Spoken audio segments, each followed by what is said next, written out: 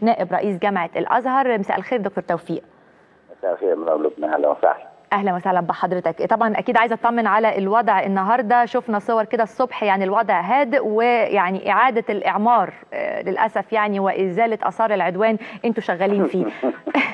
بسم الله الرحمن الرحيم. اتفضل. طبعا الحمد لله الوضع بالفعل زي ما حضرتك شفتيه هادئ واستمر هادئا إحنا سيبنا أو أنا غادرت مبنى الجامعة النهارده الساعة حوالي خمسة ونص وكان فضيلة الرئيس لسه موجود في الجامعة فندم. الوضع هادئ آه، هدوء جميل آه، رجعنا تاني زي الجامعة اللي إحنا اتعلمنا فيها مم.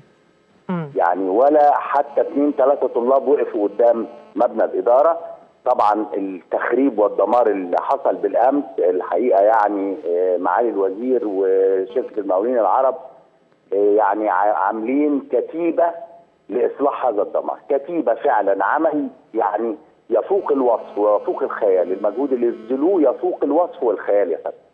الحمد لله. وهو وعدنا إن هو هيسلمنا المبنى آه، أحسن من مكان في خلال 96 ساعة. ما شاء الله. عظيم.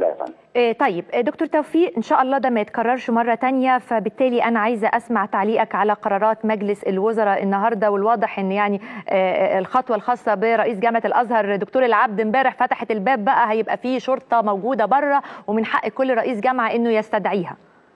والله الحمد لله إن كعاده الأزهر فهو سباق الحقيقة إحنا من الأول وإحنا بنتكلم على المنظومة الأمنية. وإن يا جماعة إحنا مش عايزين لا قمع للطلاب ولا حرمانهم من حقوقهم ولا حرمانهم من حرياتهم. بالعكس إحنا معاهم. لكن أن نصل إلى حد من الفوضى بيهدد العمليات التعليمية بيهدد أمن الجامعة منشآت الجامعة. حضرتك عارضة صور. يعني يعني حضرتك مهما شفت حضرتك يا مدام لبنى صور الورق ده مم. مصالح ناس يا فندم. آه. دي مصالح ناس. أعضاء هيئة تدريس وطلاب داخلين دراسات عليا وطلاب في الجامعة. طبعا. فإذا وصلنا لهذا المستوى الحمد لله إن إحنا بدينا الخطوة الأولانية. مم. الحمد لله إن الأزهر ابتدى الخطوة الأولانية عشان يحصل الانضباط في الجامعة كما هو. إحنا مش عايزين نقمع حرية حد لكن على الأقل إدونا فرصة نخلي الجامعة جامعة ونعلم الطلاب وتبقى الجامعة تقوم بدورها الأساسي وهو رسالة العلم والتعليم مش رسالة الأمن. إن أنا أبقى شغلتي بدور على الأمن والتأمين وأدور على إزاي أأمن منشأتي وإزاي امن الطلاب وإزاي عربيات ما تتكسرش. الحقيقة إحنا يعني بعدنا كثيرا ده أصلا سر ال- ال- ال- المبنى الإداري بالجامعة. يعني شوفي حضرتك ال- الصور آه. عندكم معبرة جدا عن ال- ال- الح- الحدث الحقيقة يعني. يبقى إحنا نرجع تاني بالجامعة للمستوى اللي يليق بيها.